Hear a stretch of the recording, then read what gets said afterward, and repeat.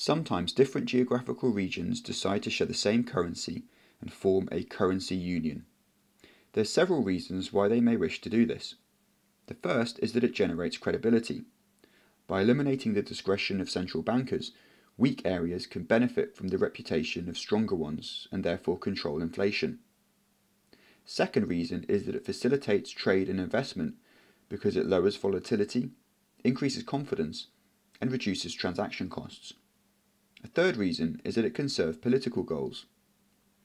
But these benefits will only occur if those regions constitute an optimal currency area. And economists point to three main criteria.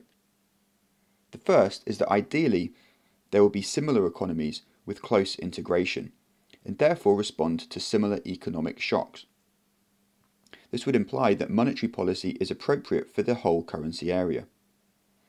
If monetary policy isn't appropriate for the whole economic area, and there are different economic shocks, then the second criteria is that there's labour market flexibility. For example, labour mobility, adaptable skills, or flexible wages will allow the markets to adjust such that different interest rates prevail. The third main criteria is fiscal transfers. In the UK, for example, when there's growth in London, money gets redistributed to poorer regions through welfare payments. And indeed, many people have argued that the problem in the Eurozone is that there's monetary union without fiscal union. However, historically, the US has formed an effective currency area despite having limited federal transfer payments.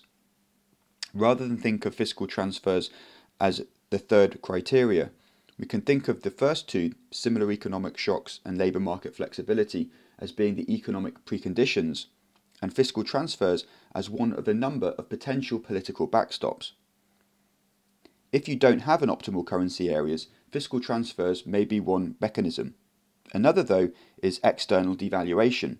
This is when one region would leave the currency union and restore or adopt their own currency. By reducing the value of their currency, this can increase exports and generate some growth. But if the reason for the currency union is political, then admitting defeat is likely to be off the table. Indeed, in the case of Greece, leaving the euro is not politically possible, and therefore they're forced into an internal devaluation. This is where exports are increased through lower wages and an increase in competitiveness. The problem with this is that waiting for prices to adjust can take time and be costly. But the only real alternative is outright default.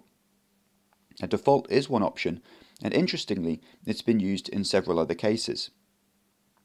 In 2008, California had a budget crisis in the United States, and interestingly, the possibility of a Californian default did not raise any questions at all about whether California should leave the dollar area. Indeed, possibly the threat of default is one reason why a currency area can survive in the first place. Ultimately, if these economic pre- preconditions aren't met, then there are important political backstops that can be made. The difficulty, though, is that these imply important and difficult political decisions.